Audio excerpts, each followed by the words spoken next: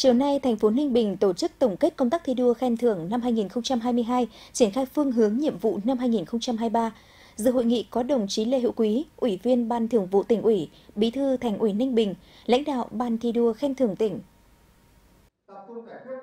Xác định phong trào thi đua yêu nước và công tác khen thưởng là một trong những nhiệm vụ trọng tâm, trách nhiệm của cải thống chính trị, thành phố Ninh Bình đã chỉ đạo các cấp các ngành phát động phong trào thi đua và tổ chức ký giao ước, đăng ký trong các khối, các phòng, ban, đơn vị, cán bộ công chức theo nội dung tiêu chí, bằng điểm để làm căn cứ xét khen thưởng cuối năm. Với cách làm đó, năm 2022, mặc dù còn nhiều khó khăn thách thức, song dưới sự lãnh đạo chỉ đạo của tỉnh, Đảng bộ, chính quyền và nhân dân thành phố đã đoàn kết nỗ lực, quyết tâm và đạt được kết quả khá toàn diện trên các lĩnh vực, hoàn thành và hoàn thành vượt mức 12 trên 13 mục tiêu kế hoạch chủ yếu. Thành phố tiếp tục đứng đầu bảng xếp hạng chỉ số năng lực cạnh tranh DDCI các huyện, thành phố. Tổng thu ngân sách đạt trên 1.656 tỷ đồng, bằng 130% dự toán tỉnh giao, tăng 118% so với năm trước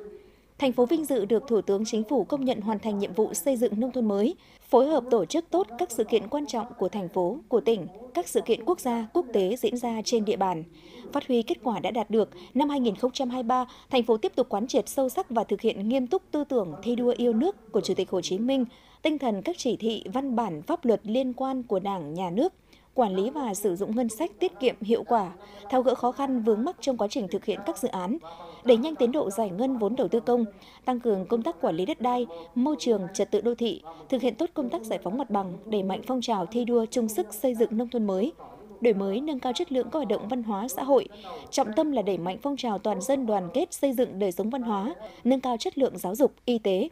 đẩy mạnh cải cách hành chính, xây dựng chính quyền điện tử, chuyển đổi số, thực hiện tốt các nhiệm vụ quốc phòng an ninh, tạo môi trường ổn định, an toàn, phát triển kinh tế xã hội, xây dựng tổ chức đảng trong sạch vững mạnh. Tại hội nghị, các tập thể cá nhân có thành tích xuất sắc trong phong trào thi đua năm 2022 đã vinh dự được nhận cờ thi đua, bằng khen, giấy khen của Ủy ban Nhân dân tỉnh và thành phố.